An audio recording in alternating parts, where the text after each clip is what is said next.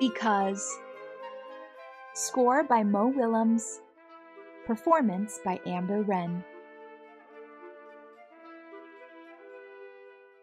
This is how it happened.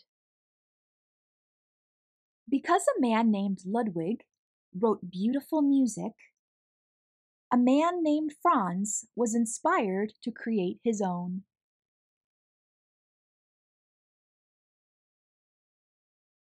Because many years later, people wanted to hear Franz's beautiful music, they formed an orchestra. Because a man had practiced since he was a kid, he was asked to join.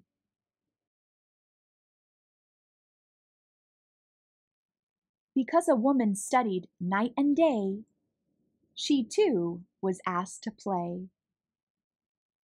Because many others loved and practiced their instruments, there were enough musicians.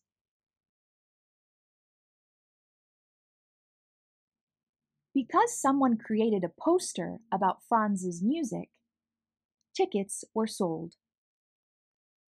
Because the train conductor stopped the train at the Grand Concert Hall, the orchestra conductor arrived.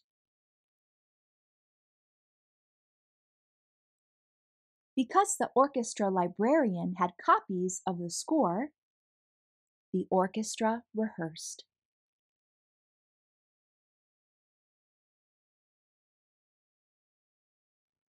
Because workers checked the lights and the seats and swept the floors, the grand hall was ready. Because the time had come, the ushers opened the doors.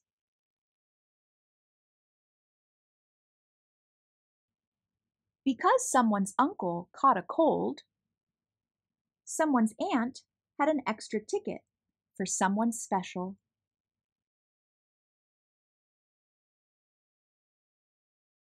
Because the usher helped the aunt and her special guest, they found their seats.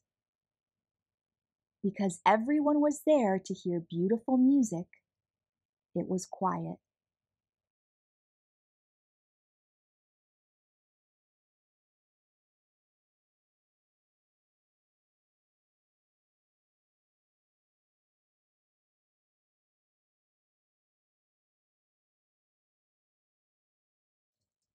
In row C, seat 14, sat the girl with the uncle's ticket.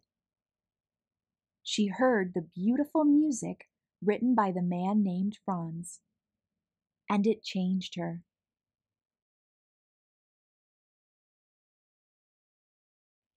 The girl was changed.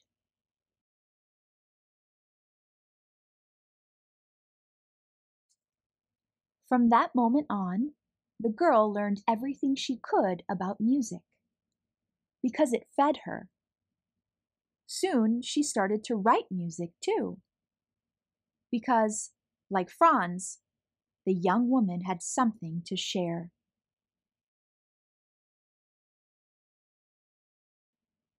Over time, the woman became very good because she worked very hard. One night, her music was discovered because she was also very lucky.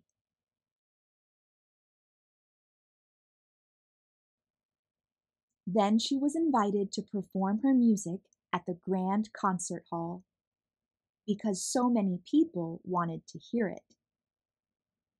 Her composition was dedicated to the uncle in row C, seat 14, because it was his ticket that brought her here.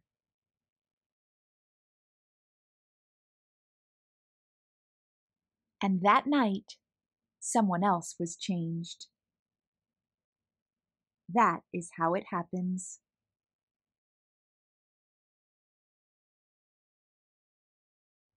The end. What is something that feeds you? Something you want to work very hard at? Hope you enjoyed this story read by me, Star. Until next time, keep reading.